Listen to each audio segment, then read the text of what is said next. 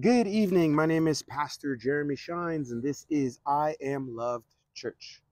Let's pray. Heavenly Father, bless this word, Lord. Teach us, guide us, instruct our hearts, Lord. Open this word of yours and breathe through it. Nothing more, nothing less. In Jesus' name, amen. All right. So, we're going through the scriptures from now on, things that the Lord has prompted for me to preach on. If you turn your Bibles to Matthew chapter 1, we'll be starting at verse 33 to 46.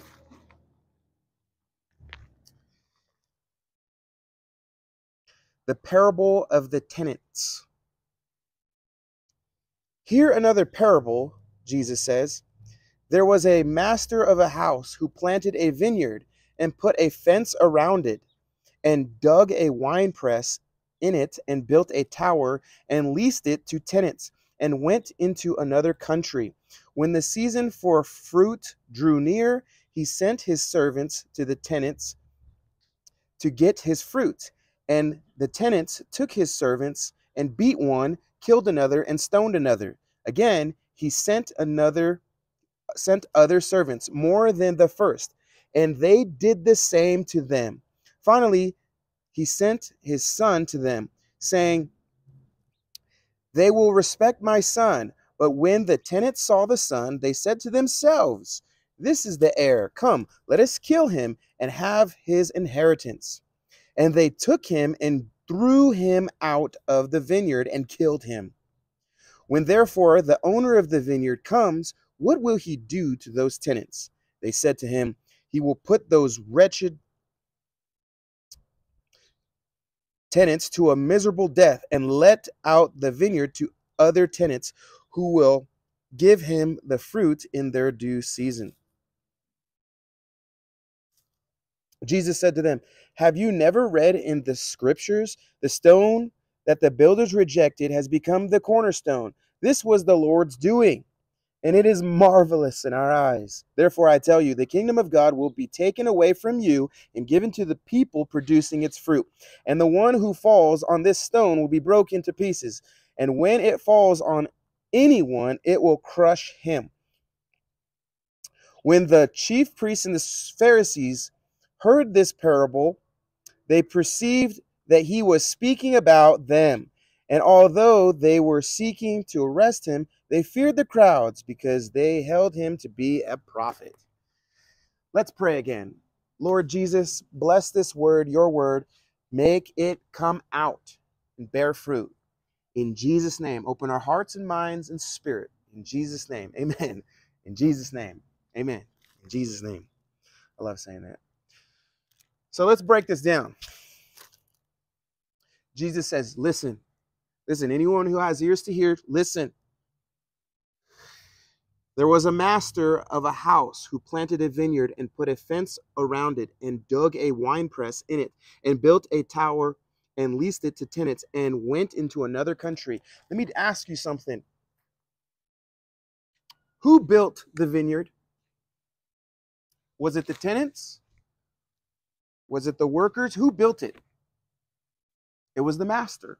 The master of the house built the vineyard the wine press, built the tower. So, this is an illustration of God. God is the one who builds the building, God is the one who builds the organization, God is the one who builds it. And then he looks for people that he will hire to take care of it.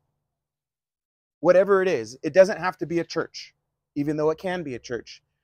It could be anything. God builds everything okay? And then he hires people to be the managers, to be the bosses, to be the employers. He hires people to be the servants. You and I, all we are on this earth, doesn't matter how high up you are. It doesn't matter if you're the president of the United States, if you're the king of or queen of England. It doesn't matter. God ultimately owns everything and we're just leasing it. we're just borrowing it. In other words, we're borrowing it. That boss that you work for doesn't own you. The stuff that you have, you don't own.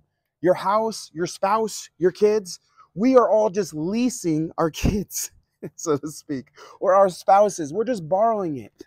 That's it. Okay? And so check this out.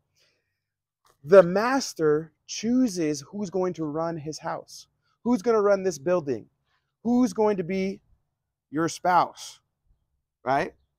Or who you're going to be a spouse of, who are going to be your children. He, he gives us all the things we have in life, our gift. And he's like, who's going to take care of my house? Who's going to take care of my daughter? Who's going to take care of my husband? To you women, right? Who's going to take care of my children? To you parents. Who's going to take care of my church? To you pastors and elders. Who's going to take care of my business here on earth at your workplace? Right?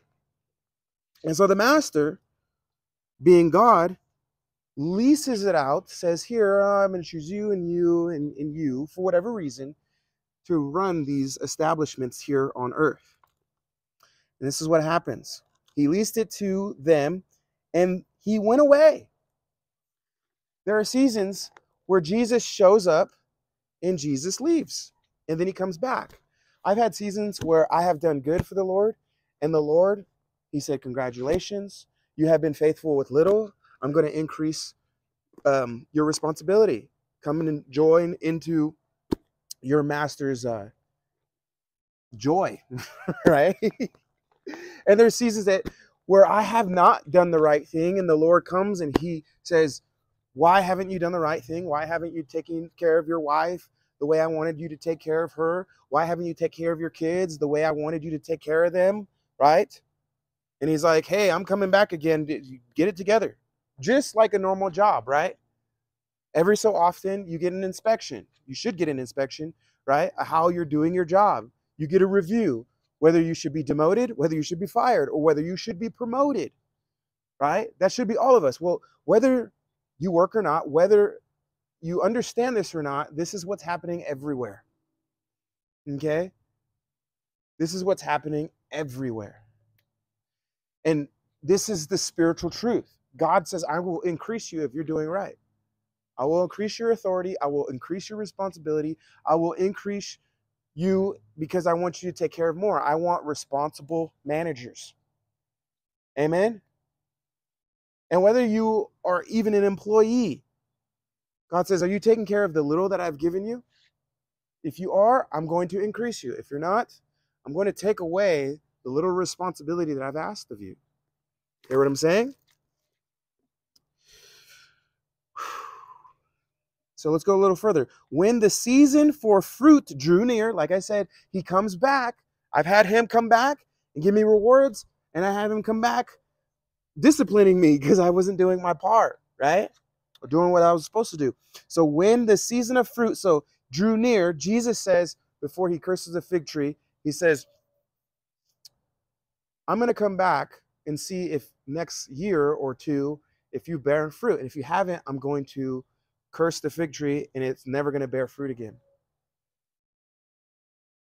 Right? That's a reflection of our life.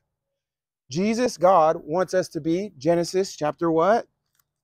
To be fruitful and multiply. Be fruitful and multiply.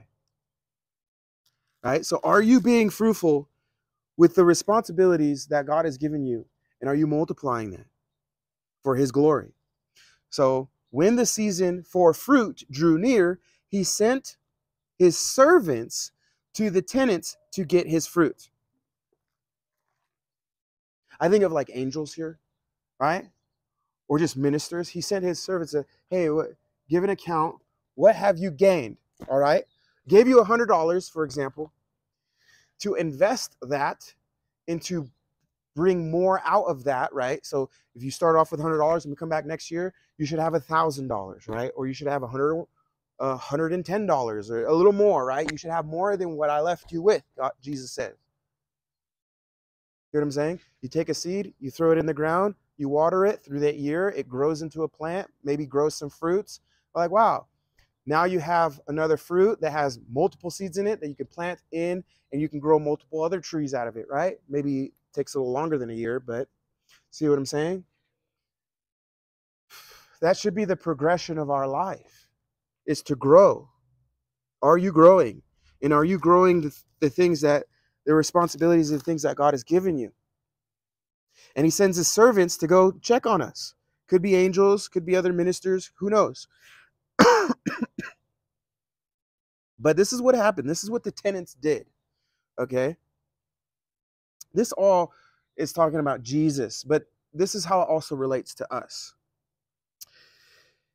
They killed the tenant.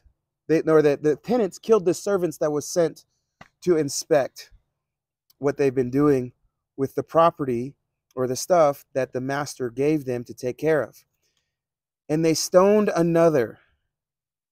So this is referring to Jesus, right? And the Pharisees in his day. God gave them the responsibility to take care of his sheep, to take care of his people. We can see that today. It doesn't have to be a church, but it obviously refers to churches too, right? In today's text, in, in, in their days, or in uh, what's happening today, right? There's a lot of people, I'm sure for right reasons that are being let go of their jobs, right? But there's a lot of people for wrong reasons that are being let go of their job.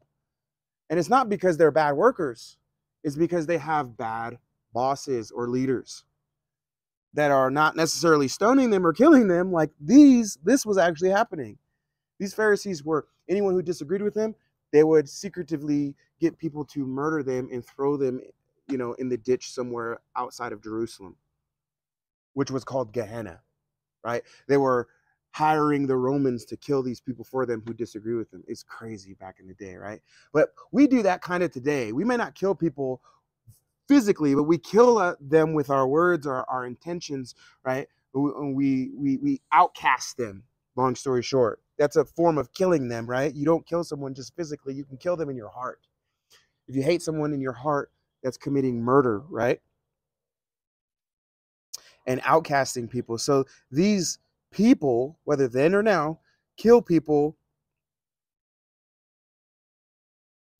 or fire people for no reasons, not justly, right? Or unjustly, or kick them out of their churches, not justly, but unjustly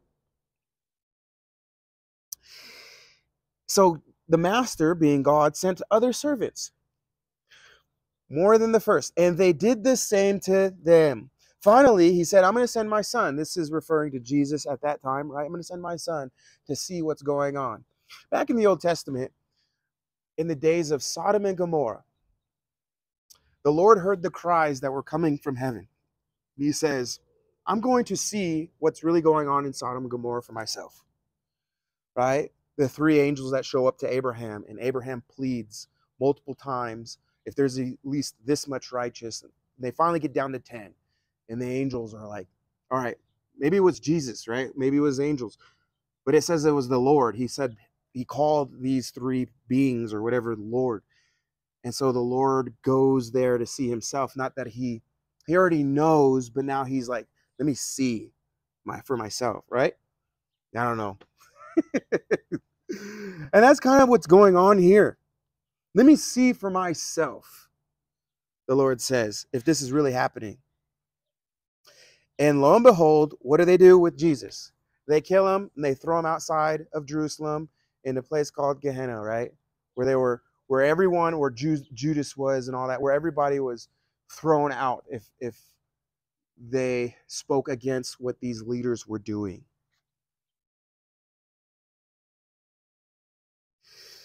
And it's interesting here is that they will respect my son, but clearly they don't. But when the tenants saw the son, they said to themselves, This is the heir. Come, let us kill him and have his inheritance. So let me draw a picture here. Let's rewind to the first picture that I drew. The master builds this house, this workplace, or this church, or this organization he hires these people to take care of the people he's going to bring into that organization or church. They start to feel like they're high and mighty and they start slaughtering the people, right? Taking advantage of the people. In this case, killing the people that disagreed with them, right? Or the employees. The master hears of this news, sends his servants to go inspect and see what's going on. They kill them too. They slaughter them too. The master himself says, I'm going to send my son to see what's going on. Sends his son. They kill him too. This is what's going on, or fire him too, right? and this is why they're doing it because they think that they own the house. They forgot that they were servants to God. How many people do you see in this world think that they are God of, of their world or the world or their organization or their church? They forgot that they work for God, in other words. They forgot that, that they are held accountable by God. They forgot that God will inspect their work. He will send servants to them. He will judge them, that they are servants. You see, when I am doing wrong by my wife, it's because I forgot that she is the daughter of the king. And I and she and I'm supposed to steward her. And that's when I start to think, oh, you belong to me, and I'll treat you however I want. That's what's going on here. When I start taking advantage of people from the church, for example, taking advantage of my children, I forget that they're not really, they're my children to steward here, but they're they ultimately belong to God. And I'm gonna have to give an account of how I treated them. I'm gonna have to give an account how I treated my wife. I'm gonna have to give an account that how I treated my neighbor and how I treated the congregation. I'm going to have to give an account as a boss, as a manager. Hear what I'm saying? And that's what's going on here. They forgot that they work for God. And they started to think that they were God, in other words. And they could do whatever they want. That looks like what's going on in our world, not just with churches, but with any kind of form of leadership, particularly what's going on in our Oval Office. They forgot that they have to give an account to God. They started to think that they can get away with stuff, get away with anything. And so this is what happened. They they tried to get rid of everybody. They tried to shut everybody's mouth. Right? They try to do some backdoor dirty stuff, right? And so Jesus is asking these Pharisees what do you think will happen to them? And they said to him, He will put those wretched, miserable tenants to death and let out the vine- vineyard to other tenants who will give him the fruit in their season. He's going to look for other managers and other bosses and other pastors and other, and he's going to see, Are you going to take care of my sheep? Are you going to serve them as a as a steward should? And stop taking advantage of the congregation and stop taking advantage of your employees and stop throwing them under the bus. Right? Or in this case, he's giving those sheep to the apostles because Jesus, God, knows what's in their hearts, that they will actually take care of the sheep versus the Pharisees and the Sanhedrin of that day. Happens all the time. When certain leaders are not doing their responsibility, people leave that job because they're usually unjustly fired or blamed for something they didn't do, and they go find another boss who will take care of them. Or they leave a church because the church is probably super religious and super doesn't care about them, right? And they go find another shepherd to shepherd them. But this is also what God is doing because we read here. Jesus said to them, Have you never read in the scriptures, the stone that the builders rejected has become the cornerstone? This is referring to Jesus, of course, as the cornerstone. But this also applies to us. This was the Lord's doing as marvelous in our eyes. So God is building his house on people who have been rejected. If you ever notice that The only real way to build any organization or family or church or business is to bring in rejected people because nobody's perfect.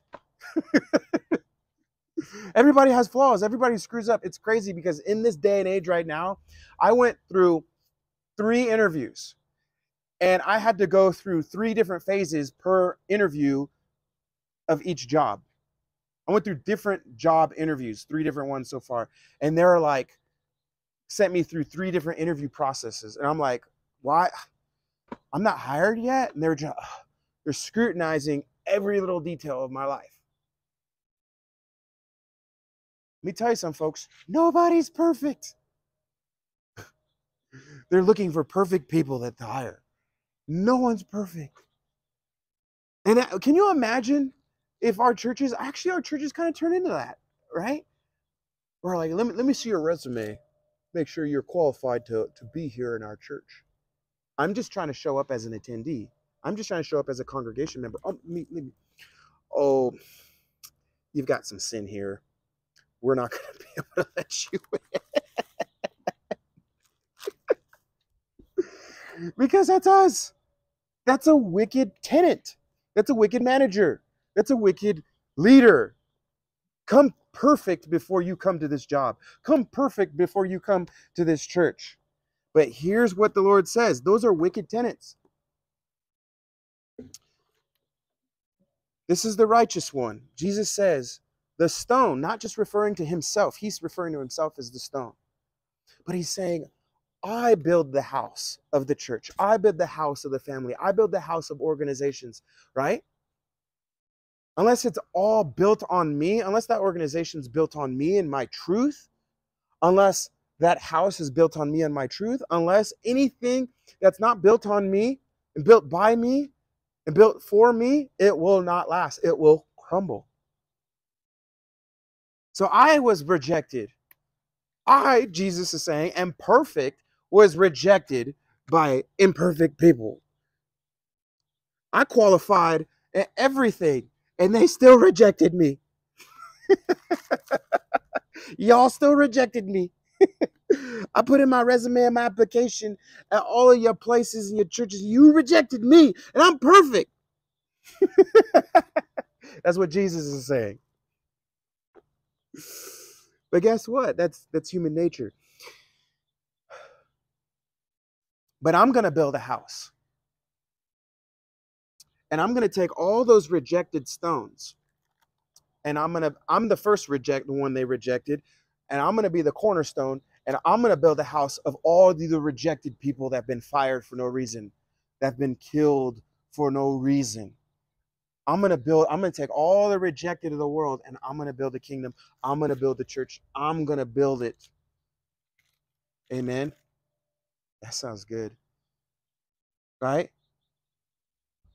It's crazy. It's crazy awesome. It says, This was the Lord's doing. Therefore, I tell you, the kingdom of God will be taken away from, from those who just are looking for perfect people, which will never find any. Will be taken away from them, and it's going to be given to people who are actually going to take care of people, to shepherds, to, to, to better managers, to better employers who are going to be merciful and kind and forgiving. These Pharisees were unmerciful, they were unkind, they were not forgiving or repentant. I'm going to give I'm going to give that to people who are responsible. Therefore, I tell you, the kingdom will be taken away from you and given to a people producing its fruit. And the one who falls on this stone will be broken. Interesting, right? The stone represents the gospel, represents the cornerstone, right? Jesus. If you fall on the gospel, it'll break you. But if the gospel falls on you, it'll destroy you, it'll obliterate you completely. When the chief priests and the Pharisees heard this parable, they perceived that he was speaking about them. And although they were seeking to arrest him, they feared the crowds because they held him to be a prophet. He's calling us out. He's exposing us someone better shut him up. But if we shut him up, then it'll validate him. But if we don't shut him up, it'll validate him. What are we going to do? Well, either way, they're planning on killing him.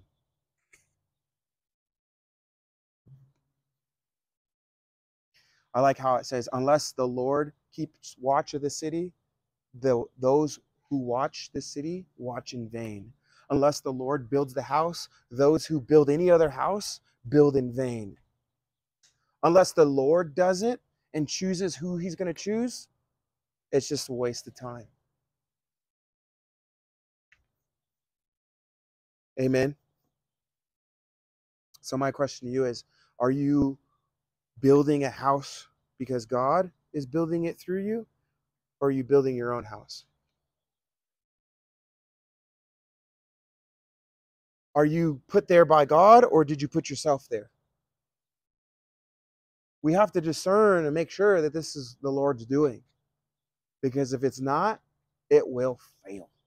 Or you will, well, you're going to fail anyways, but it won't succeed in the end. And most importantly, in this passage here, before I end here, is are you a good tenant